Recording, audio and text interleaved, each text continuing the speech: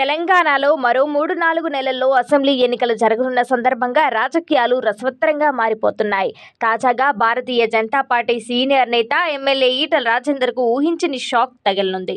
ఇక తెలంగాణ బీజేపీలో అంతర్గత కుమ్ములాట్లంటూ బీజేపీ గ్రాఫ్ తగ్గటంతో ఒక్కసారిగా సీన్ మారిపోవడం దీనికి తోడు మరోవైపు రాష్ట్ర బీజేపీ అధ్యక్షుడిగా ఉన్న బండి సంజయ్ని తొలగించి కిషన్ రెడ్డిని నియమించడం ఈ రెండు పరిణామాలతో ఒక్కసారిగా రాజకీయాలు హీట్ ఎక్కాయి ఒక్కసారిగా ఈ పరిస్థితుల్లోని తెలంగాణ బీజేపీలోని అసంతృప్తులు కొందరు టికెట్ దక్కదని మరికొందరు నేతలు పార్టీ మారే ఆలోచనలో ఉన్నారు అన్న వార్తలు గట్టిగా వినిపిస్తున్నాయి. ఇక మొన్నటి వరకు బీఆర్ఎస్కు బీజేపీ పోటీ అని దాని నుంచి బీజేపీ ఒక్కసారిగా పడిపోయింది.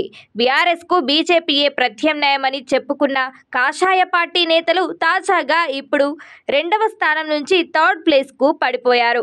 ఒక్క మాటలో సూటిగా సుత్తి లేకుండా చెప్పాలంటే గతంలో కాంగ్రెస్ బీఆర్ఎస్ పార్టీల నుంచి బీజేపీలో చేరిన నాయకులను ఇప్పుడు కాపాడుకోలేని పరిస్థితికి దిగజారిన మాట వాస్తవం.